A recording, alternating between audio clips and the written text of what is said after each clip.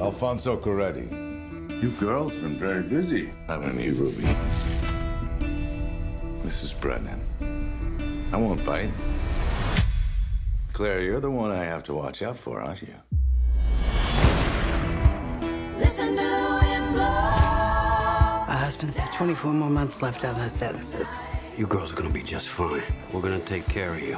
I can't even make the rent with what they gave me last night. What are we gonna do? In the shadows. All these men working these streets and not a solid set of balls anywhere.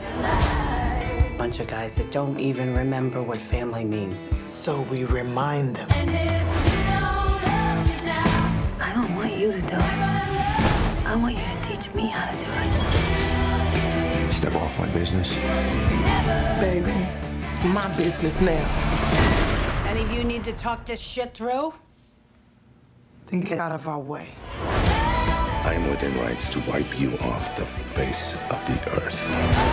Run. We worked hard for this. You wanna go back to how it was? I'd rather die than go back. You go to war, there's no coming back. Claire, put a bullet in his head. You girls kill me.